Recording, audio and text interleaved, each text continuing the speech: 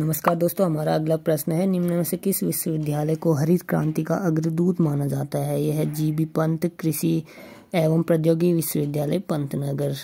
अगला प्रश्न है, राष्ट्रीय दृष्टिवादी राज्य संस्थान उत्तराखंड के किस शहर में है? यह है देहरादून में। हमारा अगला प्रश्न है, भुवनेश्वरी महिला आश्रम उत्तराखंड के किस शहर में स्थित है? यह है अंजनी सैंड टिहरी गढ़वाल में। हमारा अगला प्रश्न है, निम्न नाम और उपनाम में से कौन सम्मिलित नहीं है? जिया रानी, पिंगल या प्योला? अगला है, जनरल माया टमटा कुमार की लक्ष्मी बाई।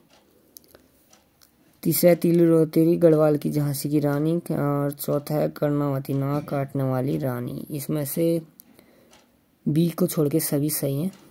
अगला प्रश्न है, गढ़वाल के इतिहास में निम्न में से कौन सी रानी नाक काटने वाली रानी के नाम से प्रसिद्ध है, अभी हमने पढ़ा।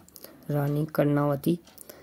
अगला प्रश्न है गौरा पंत शिवानी का जन्म कब हुआ था? इनका जन्म हुआ था उन्नीस में। हमारा अगला प्रश्न है, पैंसठ एकड़ क्षेत्र में आईटीआई पार्क उत्तराखंड के किस शहर में स्थित है? आईटीआई पार्क कहाँ पर है? यह देहरादून में। अगला प्रश्न निम्नलिखित में से उत्तराखंड के किस व्यक्ति को परमवीर चक्र से सम्मानित किया गया है? यह मेजर शैतान सिंह एवं मेजर सोमनाथ शर्मा दोनों को दिया गया।